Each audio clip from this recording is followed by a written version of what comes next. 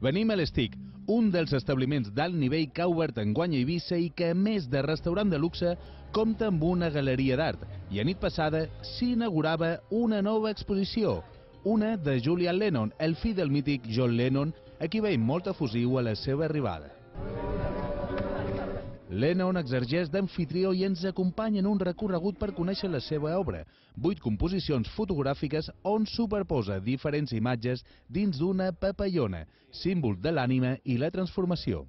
It's not for me to explain to you. You either see or feel something or you don't.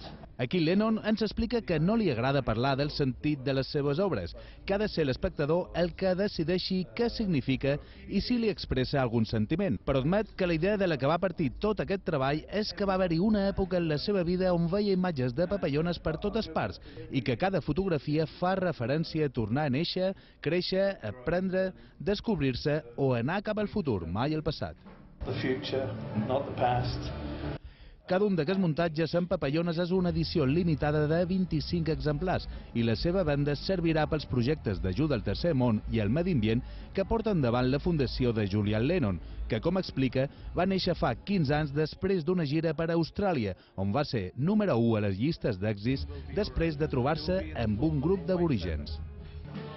When I was on tour in Australia, Ara arriba l'hora d'entrevistar-lo, però resulta que primer és ell qui ens interroga quan se n'entera que just davant d'on som hi havia una platja. There was a beach here with sun, really, yeah, yeah, yeah. what happened? Pregunta què hi ha passat. Li explicam que amb l'ampliació del port d'Eivissa es va construir un nou dic. Ella es resigna, diu que és increïble i es plany del progrés. Progress.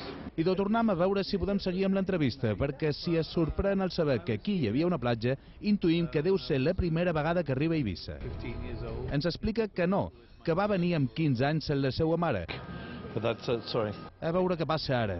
Resulta que Julian Lennon no havia silenciat el mòbil. No passa res, ell és l'entrevistat, el perdonam. Thank you very much for the forgiveness. I appreciate that. I tornem a començar parlant de les impressionants vistes a dalt vila que podem contemplar des d'aquí. It's, it's stunning. It's beautiful. És una passada, és molt polit. No puc estar més agraït i aprecio molt aquesta oportunitat d'estar aquí. I ara li preguntam pels projectes que porten davant amb la seva ONG, The White Fever.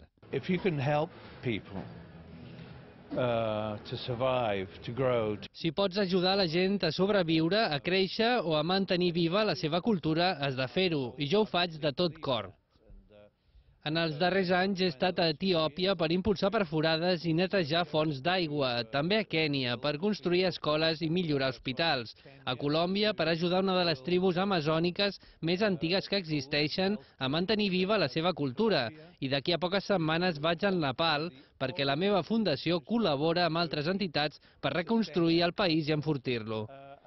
I do esperam que pugui impulsar més projectes d'ajuda al tercer món i la conservació del medi ambient gràcies al seu treball artístic, com a fotògraf o com a cantant, perquè la veritat és que sent la mar de